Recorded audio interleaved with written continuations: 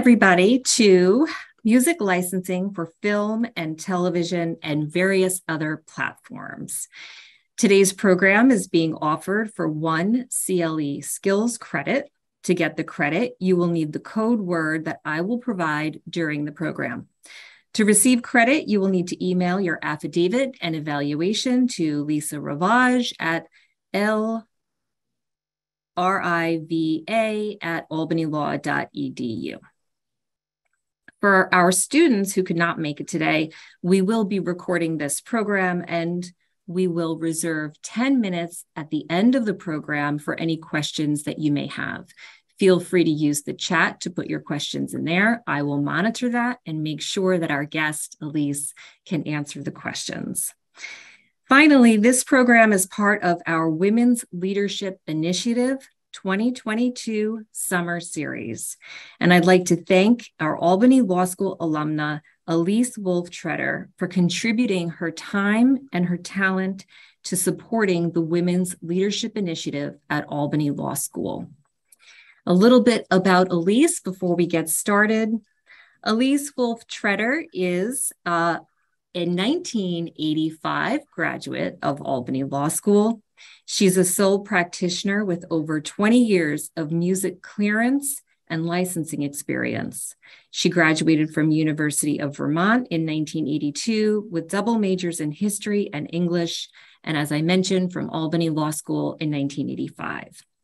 Ilyse initially practiced as a litigator in New York City she gained her music licensing experience as a senior associate for an established Manhattan based music entertainment practice, whose major client was Sony ATV Music Publishing, now Sony Music Publishing. Ilyse was responsible for drafting and tracking the large volume of music licenses with which the firm was retained to manage on behalf of the licensor. Ilyse was then hired as an independent contractor for a busy production studio to draft and review music licenses, mostly as a licensee on many films and a number of TV productions. She reviewed composer agreements and learned about post production in the world of film and television. This segued into more jobs, and as an independent contractor, now Ilyse works on behalf of a variety of large and small production companies. The productions on which she has cleared and or drafted music licenses include Tiger King, The Lost Daughter, Bombshell, Promising Young Woman, Severance, Life and Beth, as well as a podcast serial for the X Ambassadors, virtual galas for the Breast Cancer Research Foundation, and a driving tour app. Ilyse was admitted in New York State, in the Southern District of New York, and the Eastern District of New York in 1986. And you can look up more of Ilyse's music licensing credits on IMDb. Ilyse, thank you so much for being here, and I will let you take it away. Okay, thank you, Mary. Hello, as Mary so ably introduced me, my name is Ilyse, and I thank you for attending this presentation on music licensing for film and television I'm honored to have been asked to speak on connection with the Women's Leadership Initiative. I appreciate everyone's interest, and I'd like to take a moment to dedicate this talk in memory of my father, whose birthday was today. He was a lawyer, judge, and assemblyman from Plattsburgh, New York, and my inspiration to become a lawyer. Entertainment law sounds exciting, but perhaps after listening to this lecture, you may change your mind. Most people want to know how to become an entertainment lawyer. My path was mostly lucky, having friends in the business. The next part was up to me, being open to learning new skills and developing amicable business relationships. Mary has uh, covered a lot of my initial introduction in terms of how I came to be from a, a litigator to being a music licensing specialist. Um, I did have an eight year hiatus to be a full time mom, and I'm thanking my family members who are watching today. Uh, I went back to work for a friend who happened to have this established music entertainment um, practice. And uh, again, after that um, position ended, uh, due to no fault of my employer uh, or myself, I went uh, on to become an independent contractor for um, another, uh, well, for a very busy um, production company slash studio. Um, and so now I can start telling you a little bit about what these terms I'm throwing around might mean. So a music publishing company uh, represents the songwriters and promotes their work by finding artists to record the compositions or by administering the rights to license the compositions, all for a share of the income. And please note, a composition are the words and melody of a song rather than the recording of a song, which is known as a master recording, which is typically represented by a label. Think records, CDs, digital downloads. So these two terms I mention quite often. You have a master recording and you have uh, the composition. Um, and it's those are referred to as sides uh, when talking about music licensing. Um,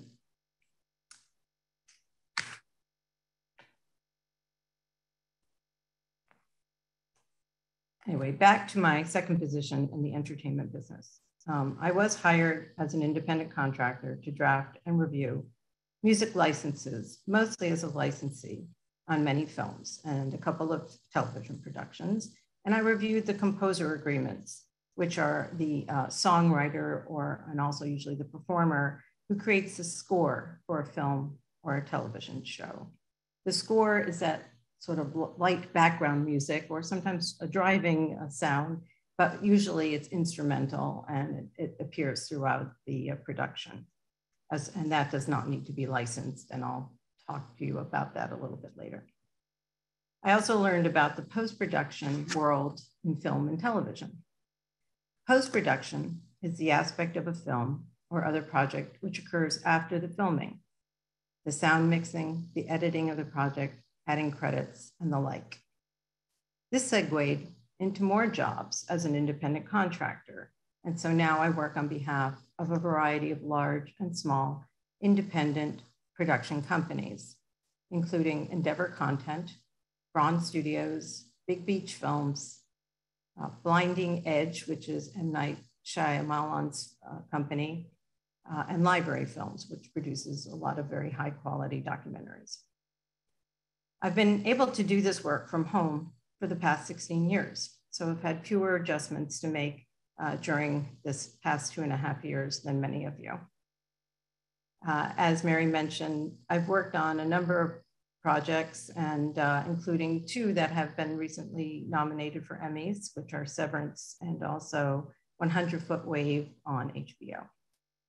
Um, the variety of projects I work on make my work uh, I think, a little bit more exciting. Um, it's always good to learn about new things when I'm working on documentaries, and uh, I enjoy watching movies as much as any other layperson. So um, I'm going to be talking about the clearance and licensing of an existing song for use in a production, which may be shown at a movie theater, on TV, via streaming like on Hulu or Netflix, or other platforms, briefly Quibi, which I don't know if any of you had a chance to hear about.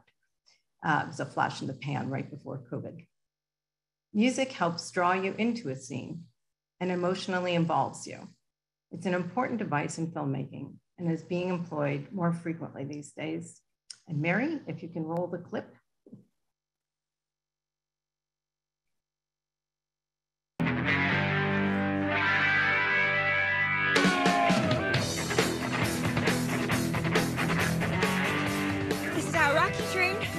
The Russian. It worked. She actually did this. So, this ain't the end. I saw you again.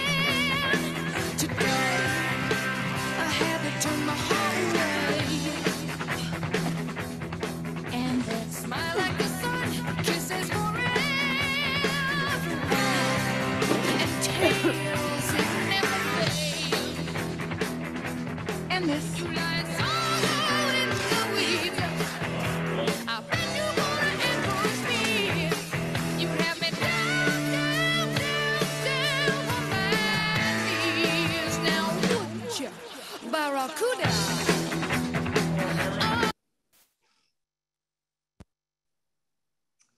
Um, and by the way, I'm using this clip under the fair use doctrine for educational purposes, and I will discuss more about that concept later as well.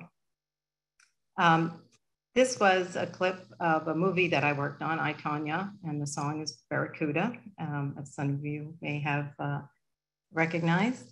And um, in this case, the song is viewed as containing two sides, as I had mentioned, the lyrics and the melody is the composition. And in the above case, in Barracuda, was written by Ann Wilson, Nancy Wilson, who are Heart, Michael DeRosier, and Roger Fisher and the publisher was Universal Music Publishing Group. The master recording that you heard, the actual recording of the song by Heart, is on the Sony sublabel Epic. I'm going to explain the steps from deciding to use the song in a production to the licensing of the song and the delivery of all the licenses to a distributor, the entity which actually exploits the show via its platforms, such as cable TV, streaming services, or theaters. In I, Tonya's case, the distributor was Neon, a fairly new production company and distributor. Neon can then make a deal with movie theaters or Netflix or Hulu, and an independent production company rarely distributes its own productions. My clients all fall into the indie category. Even the larger ones create new LLCs for almost each production. My relationship with a production company begins with a producer or music, music executive. And if the project has a music supervisor, then he or she or they are also an important contact. Either the music supervisor or the director, or a combination of the two, will choose the songs for the project. A music supervisor negotiates deal points and contracts prepares music budgets, and attends scheduled meetings and spotting sessions. They oversee the music being written as score as for a project, as I mentioned. Um, they organize the music orchestration. Um, and a music supervisor is typically more of a creative individual um, as opposed to, uh, say, somebody like me who's mostly just taking direction from the director. And I'm not usually coming up with the, the songs that they uh, would like to use for the um, production. If there is no music supervisor, then I'm going to be the one to clear the songs, meaning locating the copyright holders, yeah, a record label uh, for the master recording, and a publishing company for the composition. That again is the words and music. A recording of a song may be by one artist or another, so there could be multiple choices of which master to license. For example, Atlantic City was recorded by both the band and Bruce Springsteen, but only one choice of songwriter, Bruce Springsteen, who was represented by Sony Music Publishing. No matter how many different covers or recordings of the song there are, there's only one uh, group of writers for that particular song. For other songs, there may be multiple writers represented by different publishing companies but there's still no choice as to which writers are responsible for the words and melodies. Sometimes a song is written and recorded by an independent singer songwriter, and we deal directly with that person or their manager. Certain terms must be requested during the clearance process. Trying to add them to the music licenses after the fact will hold up the process at best or will be denied at worst. These terms include the right to parody or change or translate the lyrics for compositions. For masters, sometimes the speed of the song needs to be changed, or if the recording isn't long enough, the master may need to be looped or repeated. The main resources to locate the publishers are through a repertory search on the ASCAP, BMI, or SESAC sites. These are the United States performance rights organizations. They collect royalties for the writers and publishers and distribute them. Most songwriters want to be affiliated with one of these societies so they can collect fees from their songs being used in public, such as at a bar, a gym, or as will be discussed later, from cue sheets relating to movies and television shows. For the labels, Discogs or All Music are good resources, as is Spotify, which notes credits, including record labels. Or sometimes I just uh, rely on a general internet search. Note that the labels are often sold and publishing shares transferred, so it's not always a straightforward process. Sometimes I have to be a detective, which can be rewarding or frustrating. The music supervisor, or I, will send a request to quote. Um, I have included, I think, in a packet of documents, um, some samples, and uh, if you have access to them, you can look at them now or later. Um, and uh, one of them is the request to quote, and it indicates the song desired, the use of the song with the approximate timing requested, and a scene description. Also, a brief synopsis of the project, and then the media needed. Sometimes I will just need a film festival license to be quoted, perhaps with an option to expand to all media. This gives um, a fledgling uh, director, uh, producer with a, a, small film to just enter it in film festivals where they hope it will be picked up by a distributor, but they're not uh, incurring the uh, large fee that an all media license might uh, require. Um, but then by asking uh, for an option, then they know what they will be needing to come up with later should they find distribution. Um, the term, the territory, uh, the term is the length of time. The territory is usually the world and the percentage of the composition or master that is controlled by the copyright holder, or I ask for confirmation of the same. The hope is to get approval, permission to use the song, and negotiate the fee in an amount that works with the film's budget. The original songwriter, or its estate if the songwriter is deceased, or the artist may be the one to give or deny approval. If the approval party isn't thrilled about the project or, or how its song is being used, or merely to keep a song from being over, overused or oversaturated in the market, they may deny approval.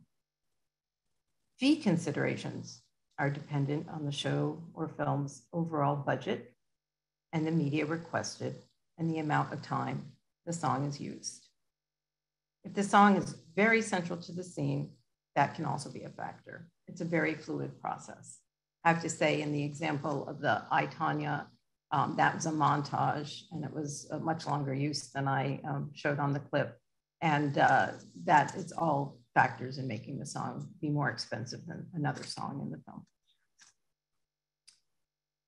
film. if the fee is in the budget, a letter of confirmation, which I also included in the packet of documents, uh, as to the agreed upon terms may be issued by a music supervisor or myself. This is a placeholder and not a guarantee the song will be used. And depending on when in the process this is issued, if the film hasn't been locked, which I'll talk about that later, um, the timing may be off a little bit. So we tend to try not send out letters of confirmation too far in advance of a final version of the film. But sometimes um, just to make sure that we know the fees are in place, we'll send out a letter of confirmation. Uh, a copy of the um, includes basically the information that was in the request to quote the media, whether it's in theaters um, or sometimes all media excluding theatrical, which is what a lot of the streaming platforms um, require, or again, maybe just for film festivals. the term can be in one for one year, that's usually related to film festivals, or in perpetuity. The territory is usually the world, and the use could be a background use where you don't see the song being played, it's just like in the I, clip, or a visual use, meaning on screen. Either the um, performers are playing an instrument or they're singing the song like a karaoke scene. And the time of use, how long the song plays. And if it's interrupted, perhaps there's a little bit of uh, use of the song, then there's a scene, and then the song continues. Or if it's used multiple times, it may appear at the beginning of the film and then maybe towards the middle and maybe towards the end.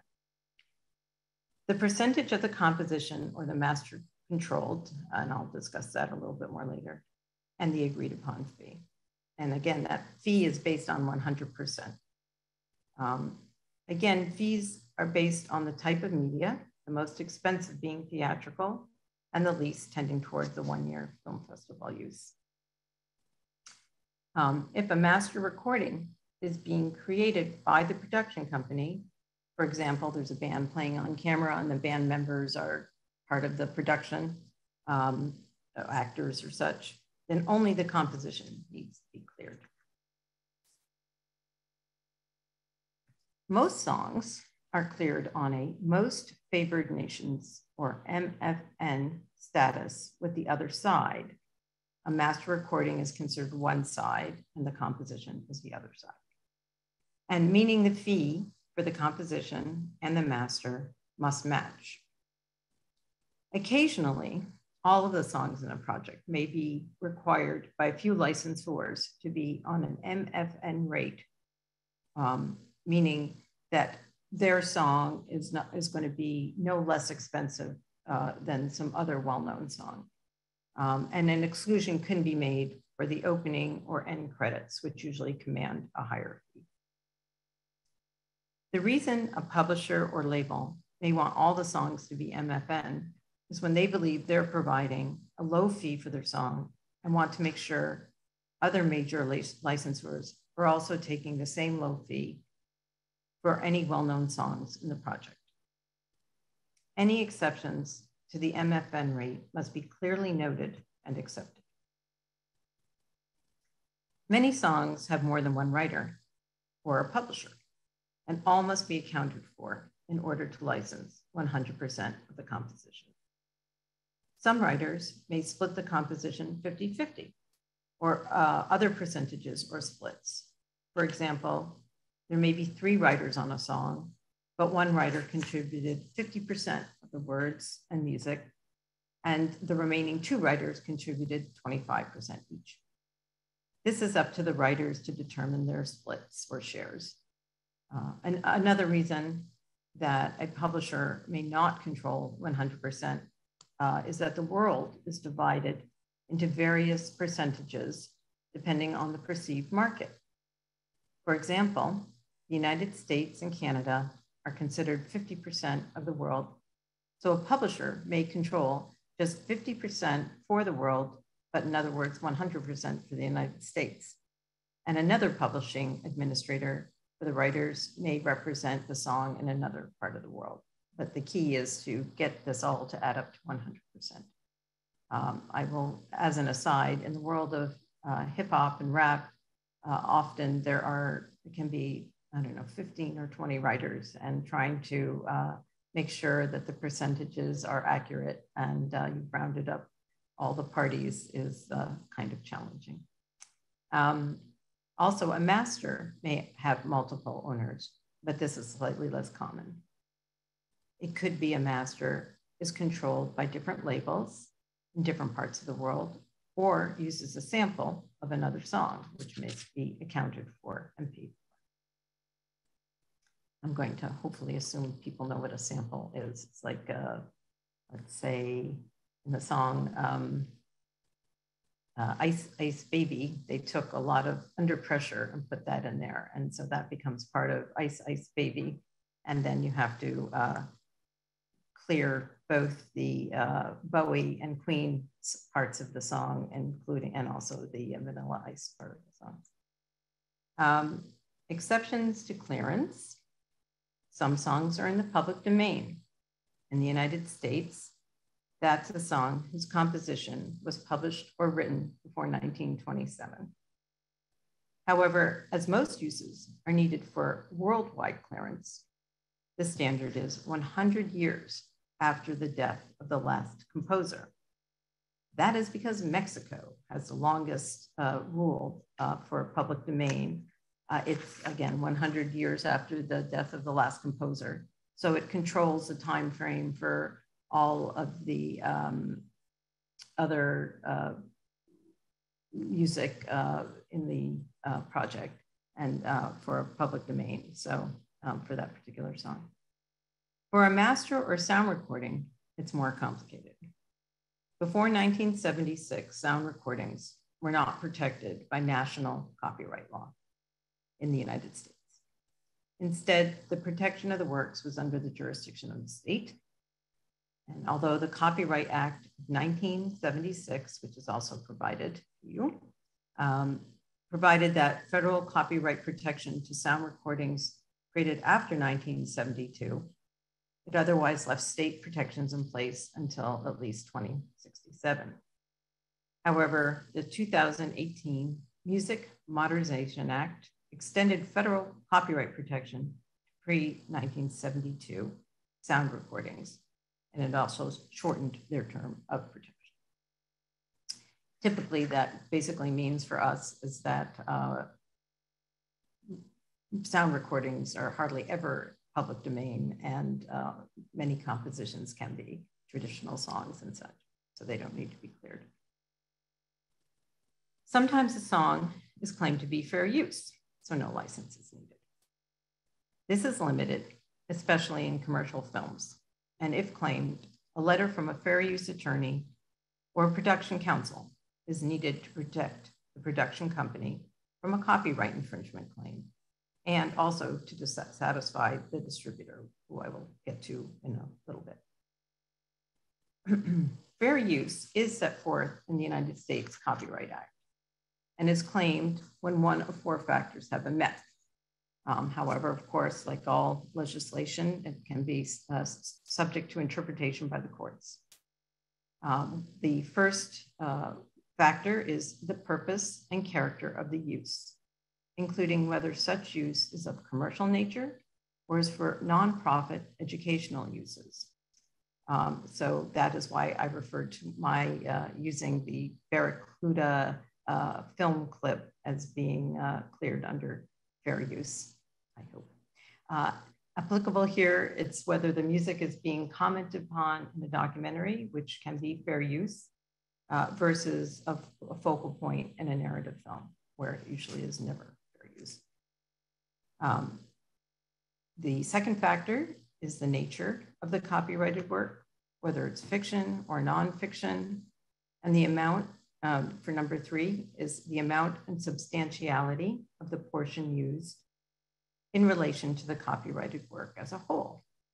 So relating to music, whether a very short use uh, versus long, typically people will say under three seconds could be considered um, fair use. But again, if it's a commercial um, project uh, or as opposed to let's say a documentary, um, it usually is not easy to clear as fair use or be determined to be fair use.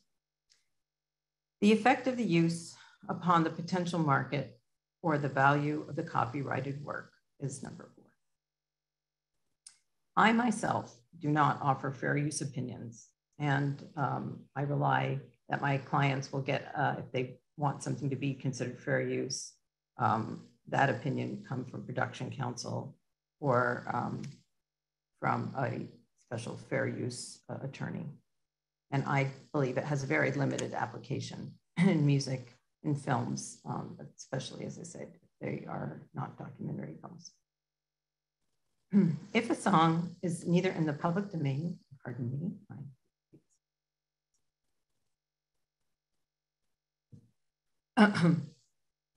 um, it might be composed, especially for the film, as I mentioned, by the uh, film's uh, score composer. And that is he or she is usually hired in accordance with a work for hire contract. Um, so the composer uh, would write and record the music, but the production company would then own um, the music. And that's the typical hope for situation. Sometimes if it's a very famous composer, they may say, I'm going to own my compositions and I'll license them to you, but you can own the music that was recorded. Um, it depends on the uh, various um, strengths in the bargaining process that the composer may have with the production um, uh, company. Once the project is mixed by members of the post-production team, meaning edited with sound and picture together, for its final time and the song timings are certain, licenses can be requested or drafted.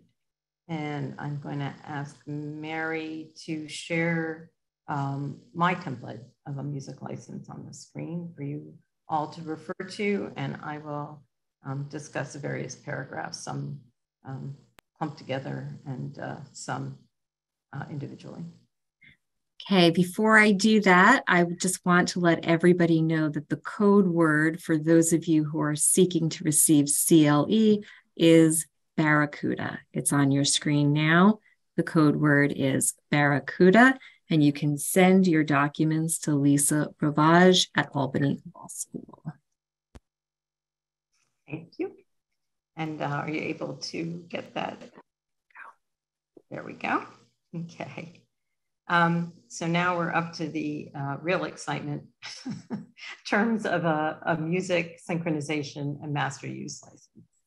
Um, and um, basically they're contracts uh, between a production company and a copyright holder to permit the production company to use a composition or a master, or in this case, both, as synchronized in the soundtrack of a production meaning that the audio, the song is played in time with the visual, the picture, whether it's a film, series, uh, website, or any type of media, which is an audio visual. I know I mentioned I did do some um, work uh, for a podcast, and they still require uh, a sync license, even though there's really no um, visual attached to that. Um, I'm going to refer you to paragraphs one through six which are the um, terms that we've been discussing ad nauseum in the uh, quote and uh, request to quote and the letter of confirmation. But basically, again, you're giving the title, the writers, in this case, also the artist, because it's for a master and a synchronization or composition license, um, the publisher, uh, and the label. And then uh, in this case, the licensor uh, controlled 100% in both the composition and the master.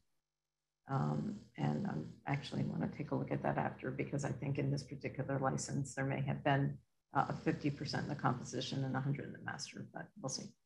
Um, and the use of the composition and master uh, in the whatever the film is called um, and for a background vocal use, meaning that nobody sees the performance. It's just being played in the background for about 31 seconds.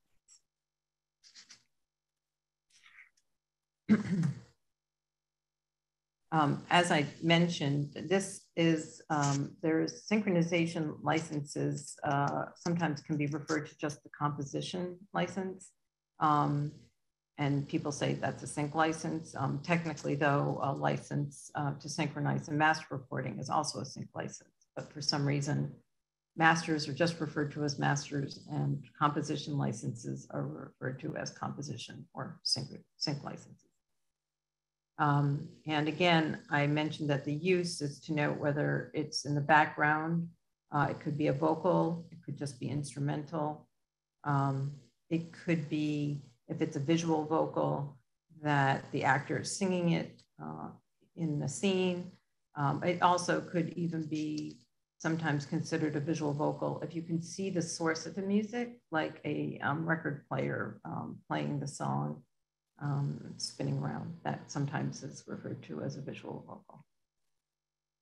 Uh, again, the amount of time and um, is noted.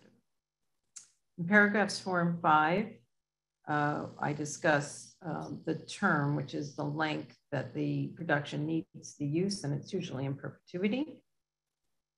And again, um, number four is the uh, territory. Uh, and again, usually it is worldwide these days.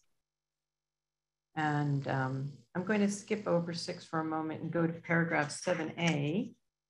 And this is really like the nuts and bolts in terms of this is the right to synchronize the master recording and the composition into the soundtrack of a visual medium. It means it can only be used with the pictures accompanying the music, no sound only use. Um, and uh, the copyright holders want to make sure that that's very clear because they don't want you uh, going off and making uh, your own records of their songs. Um, the right is typically non-exclusive, meaning the licensor may license and use the song in any way it sees fit, whether or not it's licensed the song to you. In advertising, some uses are exclusive. Um, for example, an ad company may require that the song that they want to license is licensed to them exclusively for a period of time and it's typically limited to ads for um, of a similar product. So like not every car ad has the same uh, song in it for you know that period of time that the uh, the ad is out. But this is not the case in film or television licenses. These are all non-exclusive licenses.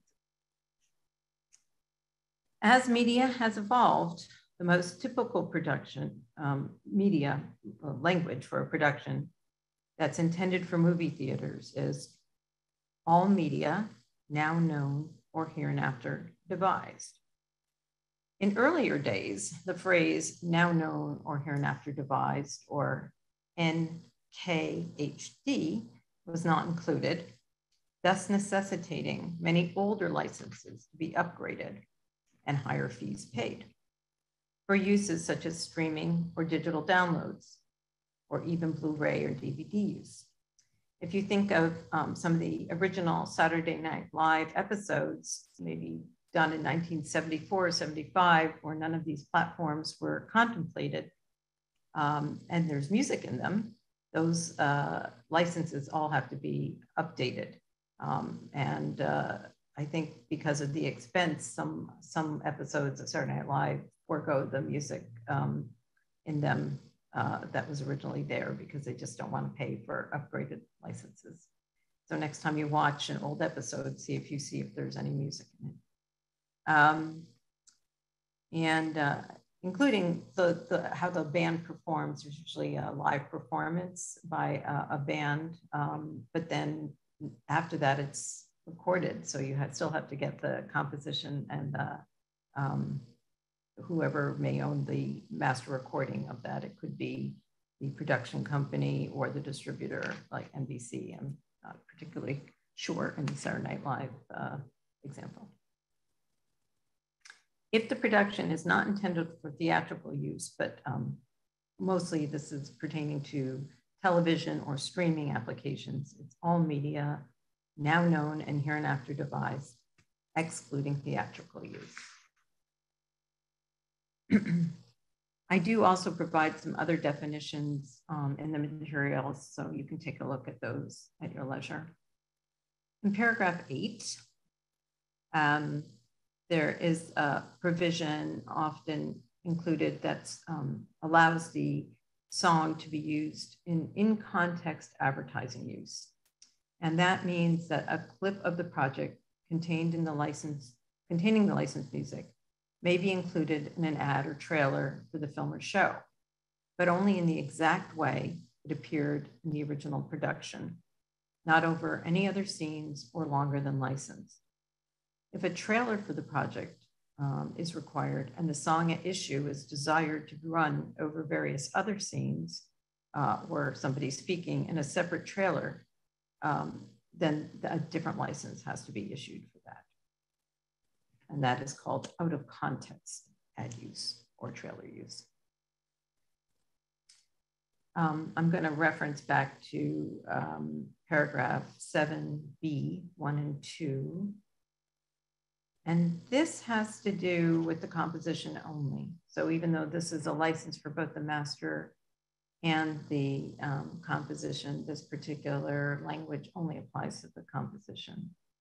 Um, after a production is in its final form, a cue sheet is created, which notes the song, the writers, the publishers, and whether the song is a visual vocal, background vocal, etc., and also the timing of the song.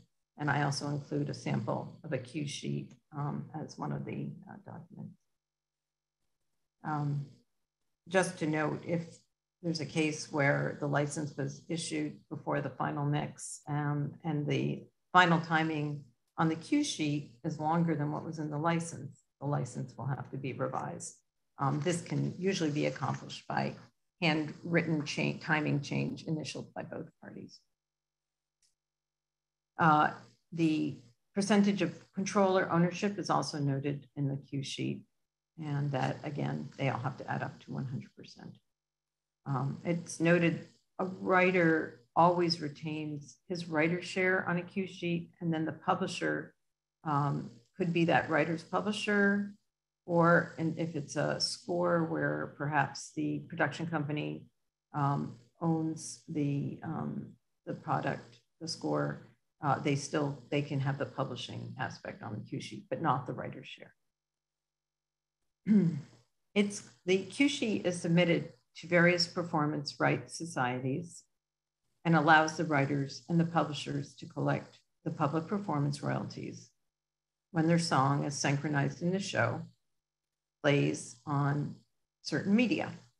In the United States, that's television and streaming platforms, but not movie theaters. While in Europe, public performance royalties are captured by theatrical exhibition.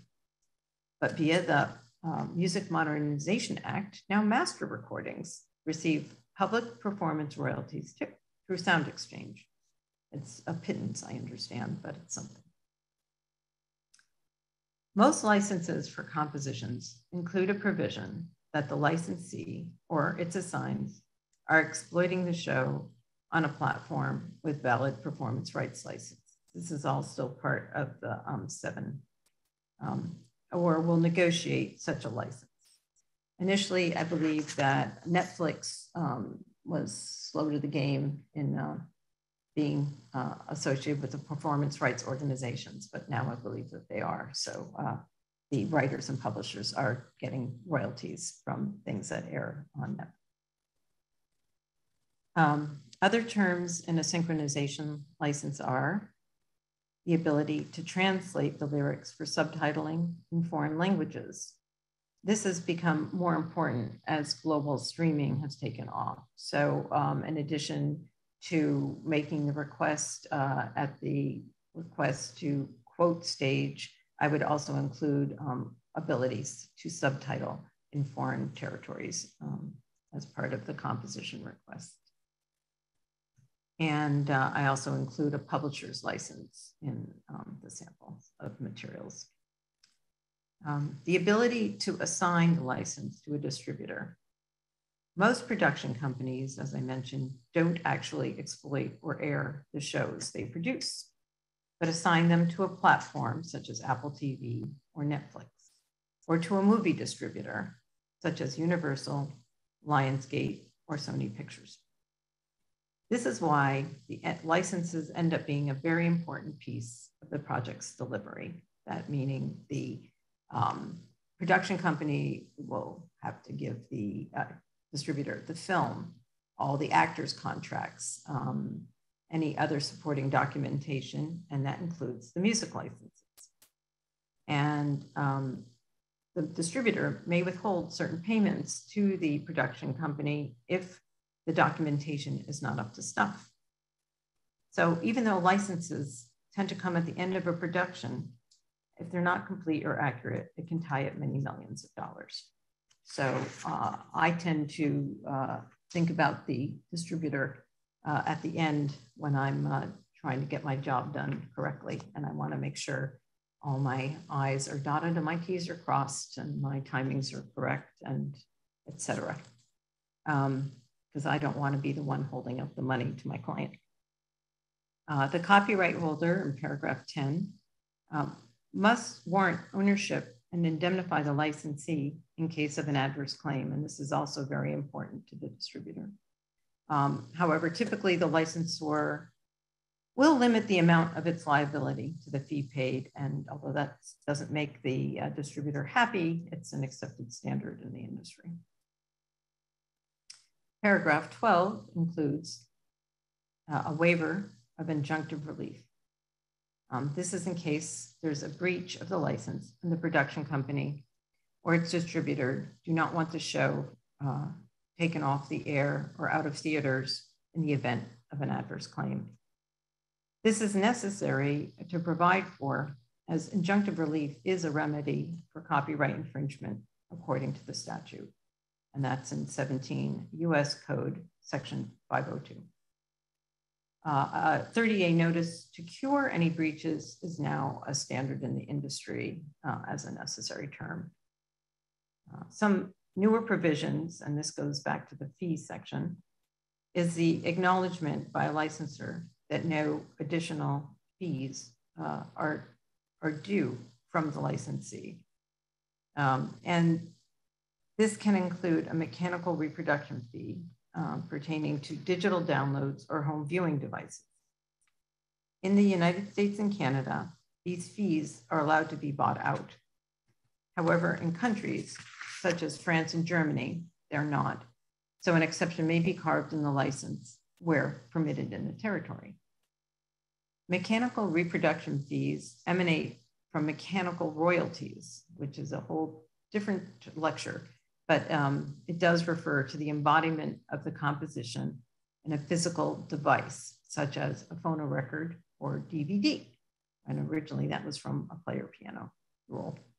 Um, but now it's been transposed to uh, expanded as a fee to DVDs or videotapes or even digital downloads. So that's where these mechanical reproduction fees come in.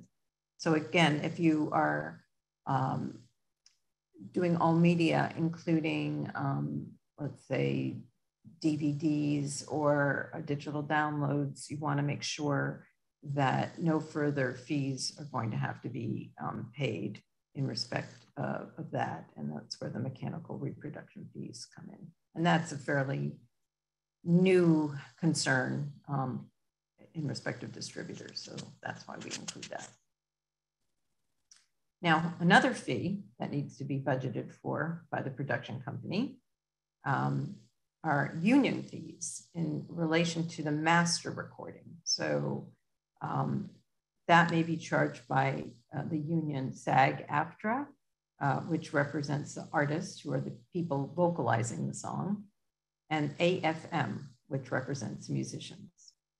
If the label that you're licensing the song from is a signatory to those union agreements. So those are mostly the major labels. A lot of the independent record labels um, aren't signatories and you don't have to worry about this. But if you're dealing with somebody like Sony uh, or Universal or um, uh, Warner, then you definitely have to be concerned when you sign the license that you may be responsible for union reuse or new use fees.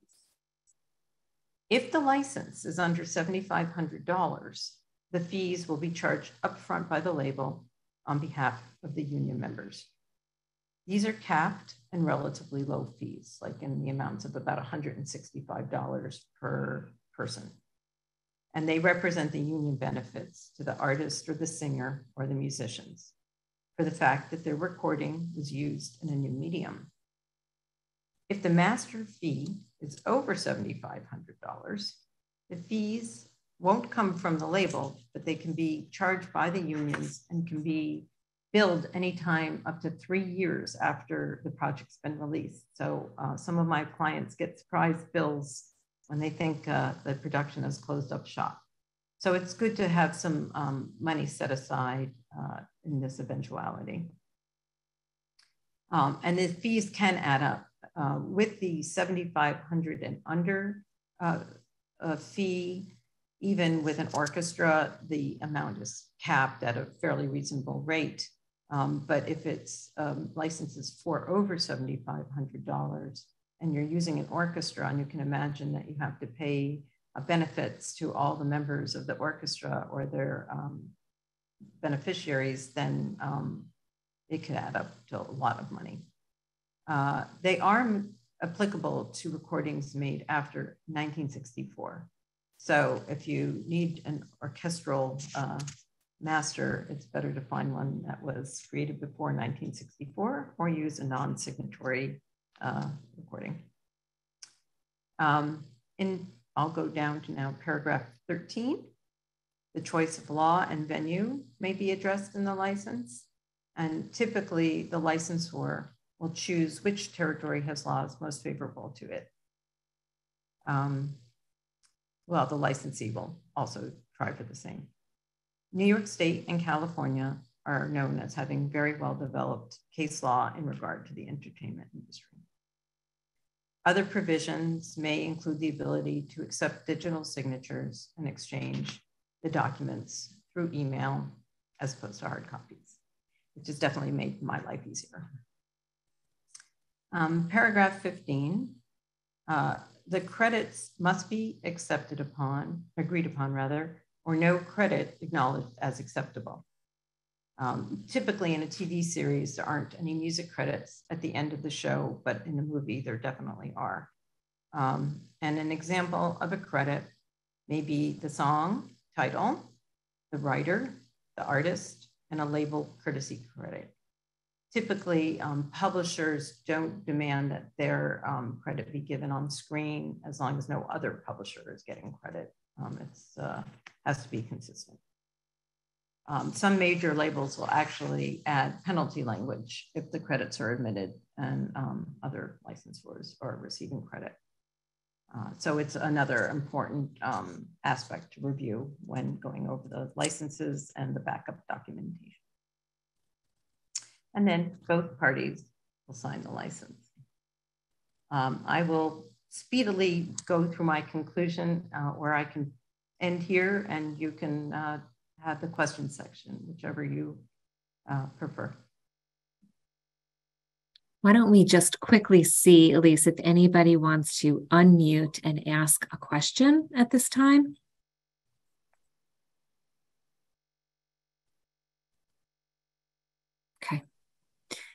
So Ilyse, I will turn it over to you to have you conclude.